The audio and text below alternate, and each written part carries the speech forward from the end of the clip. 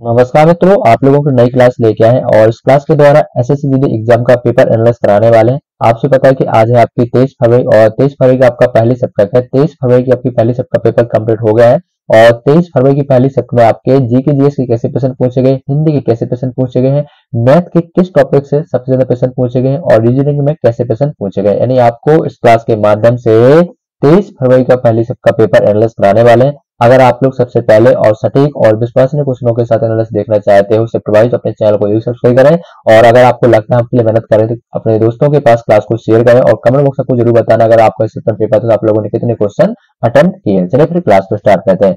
पहला क्वेश्चन आपकी सेट में पूछा गया था क्रिप्स मिशन भारत में कब आया था? क्वेश्चन आपसे पूछा गया था, मेरे प्यारे कप्तानों क्रिप्स मिशन भारत में कब आया था? तो क्रिप्स मिशन है जो भारत में आया था, आपका कब आया था? ये आया था आपका मार्च उन्नीस सौ बयालीस में। क्या है आपका? क्रिप्स मिशन भारत में आया था। क्लियर है? अगला क्वेश्चन पूछा गया था, कुंडल नाभिकीय विद्युत किस राज्य में है? क्वेश्चन आपसे पूछा गया था, कुंडल नाभिकीय विद्युत किस राज्य में जो कुंडल नाभ की विद्युत हमारे तमिलनाडु राज्य में कहा पर? तमिलनाडु राज्य में क्लियर है? अगला क्वेश्चन आपसे पूछा गया था कथकली एवं मोहिनी अट्टम किस राज्य का है? क्वेश्चन आपसे पूछा गया था कि कथकली एवं मोहनी अट्टम किस राज्य का है? ये आपके केरल राज्य का किस राज्य का केरल राज्य का है आपका? ये आपका कथकली एवं मोहनी अट्टम है। कहा का केरल राज्य का। अगला क्वेश्चन पूछा गया था, डांडा जाता महोत्सव किस राज्य का है? क्वेश्चन आपसे पूछा गया था, मेरे प्यारे कप्तानों, कि डांडा जाता महोत्सव किस राज्य का है? ये आपके उड़ीसा राज्य कहा का? उड़ीसा राज्य का आपका डांडा जाता महोत्सव है। क्लियर है? चलिए, अगले क्वेश्चन देखते हैं। अगले क्वेश्चन और भी हमारे पास उपलब्ध है, और भी बच्चों ने भेजे। अगला क्वेश्चन पूछा गया, बच्चों ने बताया कि जन औषधि एक्सप्रेस कब चलाई गई थी? क्वेश्चन पूछा गया था, जन औषधि एक्सप्रेस कब चलाई गई थी? तो जन औषधि आपकी जो एक्सप्रेस है, ये आपकी एक मार्च 2023 में चलाई कब चलाई गई थी? जन औषधि एक्सप्रेस आपकी एक मार्च 2023 में चलाई गई थी। अगला क्वेश्चन पूछा गया था संवैधानिक उपचारों का अधिकार किस अनुच्छेद में है? क्वेश्चन आपसे पूछा गया था कि संवैधानिक उपचारों का अधिकार किस अनुच्छेद में ये आपके बत्तीस अनुच्छेद में। किस अनुच्छेद में है? तो आर्टिकल बत्तीस में क्या संविधान उपचार के अधिकारों के बारे में वर्णन किया गया था। ठीक है? अगला प्रश्न आपकी सबसे पूछा गया था, धार्मिक स्वतंत्रता का अधिकार से संबंधित कौन सा अनुच्छेद है? क्वेश्चन आपसे पूछा गया था, धार्मिक स्वतंत्रता का अधिकार से संबंधित कौन सा अनुच्छेद है? और बहुत सारे बच्चों ने भी बताया कि सर ऐसा प्रश्न पूछा गया था कि धार्मिक स्वतंत्रता का अधिकार है मतलब कौन कौन से आर्टिकल में वर्णन किया गया ये आपके आर्टिकल 25 और 28 की आपका आर्टिकल है, इसमें क्या धार्मिक स्वतंत्रता के अधिकार में, इन आर्टिकल में क्या वर्णन किया गया मेरे कप्तान ठीक है, अगला क्वेश्चन आपसे पूछा गया था अगस्त 2023 में नीरज चोपड़ा ने कौन सा मेडल जीता था?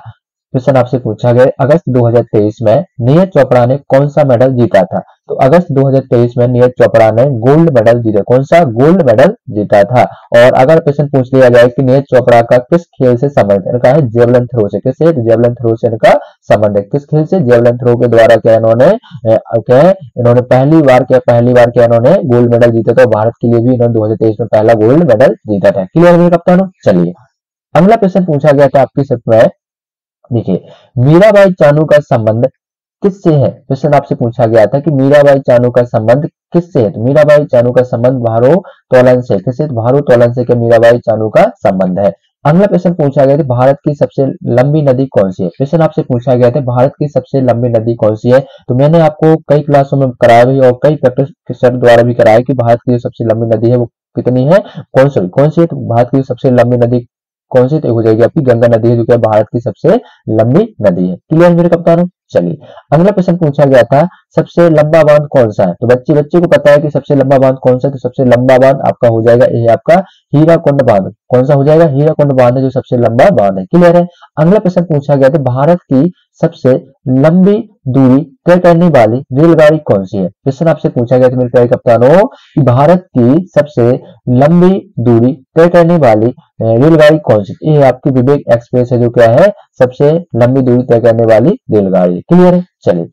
और भी क्वेश्चन है। अगला प्रश्न पूछा गया था कि राष्ट्रपति के निर्वाचन रीति कौन से अनुच्छेद में आपको बताने के बाद कौन सा अनुच्छेद है जिसमें राष्ट्रपति के निर्वाचन रीति के बारे में वर्णन किया गया अनुच्छेद पचपन में क्या है? राष्ट्रपति के निर्वाचन के बारे में क्या इसका वर्णन किया गया अब हिंदी की भी हमारे पास बहुत सारे क्वेश्चन उपलब्ध हैं जो आप आप में से किसी भाई ने भेजे हुए हैं।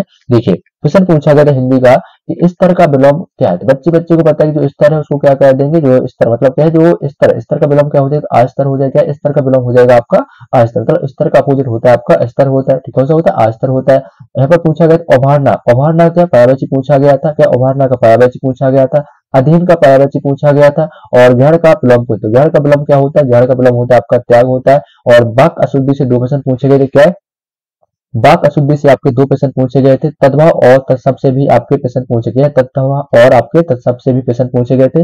अलंकार से एक क्वेश्चन पूछा गया था अलंकार से भी आपका एक क्वेश्चन पूछा गया यह वह क्वेश्चन है जो आपके क्या हिंदी में पूछे गए आज की पहली सेप्ट में। और यहाँ पर बात करते हैं कि रीजनिंग में कहा से सबसे ज़्यादा क्वेश्चन पूछे गए हैं तो रीजनिंग में आपके कोडिंग डिकोडिंग है? कोडिंग डिकोडिंग से आपके क्या है, दो क्वेश्चन आपके किससे पूछे गए हैं? तो ये आपके कोडिंग डिकोडिंग में आपके रीजनिंग में पूछे गए हैं। एनालॉजी से एक क्वेश्चन पूछा गया सीएस से दो क्वेश्चन पूछे गए। नहताक जिसमें आपकी छुपी रहती है, उससे आपका एक क्वेश्चन पूछा गया और रिपीट सीएस से भी आपका एक क्वेश्चन पूछा गया। रिपीट सीएस का मतलब होता है जिसमें आपको ए और बी और इस प्रकार का एक्शन दे रखा है, जिसमें आपको क्या है, उसकी आपको, उस आकृति मतलब उस श्रृंखला को पूर्ण करना पड़ता है, जिसे हम बोलते हैं क्या रिपीट सीट बोलते हैं। और डाइस से भी आपका एक क्वेश्चन पूछा गया था डाइस से भी आपका एक क्वेश्चन पूछा गया था। तो मेरे प्यारे कप्तानों, यह वह क्वेश्चन है जो आज की आपके आपकी जो तेईस फरवरी की पहली सप्ताह पूछ गए तेईस फरवरी की पहली सप्ताह पूछे गए हैं। अगर आप लोगों को इन प्रश्नों के अलावा कोई भी प्रश्न आपको याद है तो आपको क्या करना है, इस व्हाट्सअप कर मैसेज करके बताना है कि सर ये भी प्रश्न पूछेंगे नंबर नोट करेंगे सभी लोग, सत्तर उनचास क्या है? सत्तर उनचास छियासी क्या सत्तर उनचास छियासी और अड़तीस इक्यानवे क्या सत्तर उनचास छियासी, अड़तीस इक्यानवे। इस नंबर पे आपको करना व्हाट्सएप करके मैसेज करना है कि सर ये भी क्वेश्चन पूछेंगे जैसे आपके आपका सेकंड का पेपर एनालिस कराएँगे उसमें क्या करेंगे, उन प्रश्नों को सम्मिलित कर लेंगे। जिससे आपके छोटे भाई बहन बड़े भाई बहनों को क्या है क्वेश्चनों में जो उनको प्रदान, उनको प्राप्त हो जाएँगे, उनको बहुत सारा प्रदान होगा, उनको पता चल जाएगा एग्ज़ाम में किस टॉपिक से सत्रह परसेंट पूछ रहा है। उम्मीद कहते हैं कि अगर आप लोगों ने पेपर तो आप लोगों ने अच्छा स्कोर किया है कमेंट बॉक्स में ज़रूर बताना कितना स्कोर किया है, और अपने दोस्तों के पास क्लास ज़रूर शेयर करना। अगर अभी तक आप लोग चैनल को सब्सक्राइब चैनल को ज़रूर सब्सक्राइब कर देना। आप लोग फिर मिलते हैं नई सब्जेक्ट नए एनालिस्ट के साथ। जय हिंद, जय भारत।